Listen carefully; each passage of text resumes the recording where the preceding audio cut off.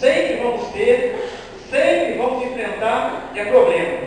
Tem pessoas que às vezes se tornam cristão, se tornam servos de Deus e acham que nunca mais vai ter problema na vida, que nunca mais vai enfrentar uma dificuldade, que nunca mais vai existir um gigante para afrontar ele ou para afrontar ela. É um engano isso, irmãos.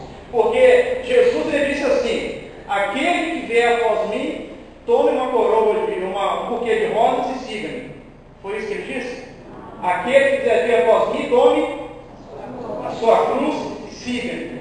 E cruz significa sofrimento, agonia, lutas, problemas. Então Jesus disse: aquele que quiser vir após mim, tome a sua cruz e siga-me.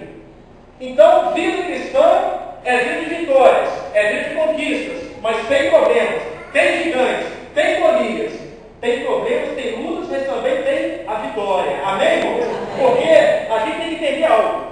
Deus, Ele não me livra, Ele não me livra da fornalha, mas como estou na fornalha, é lá que Ele me livra, é na fornalha que Ele me livra.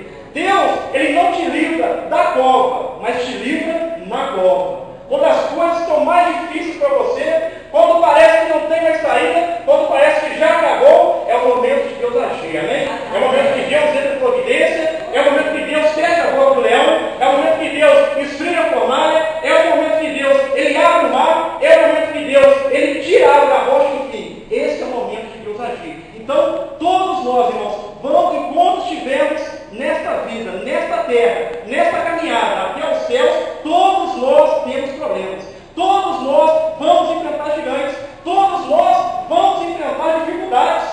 E o assunto desta noite, o tema é passos para vencer gigantes e avançar. Porque todos nós precisamos vencer.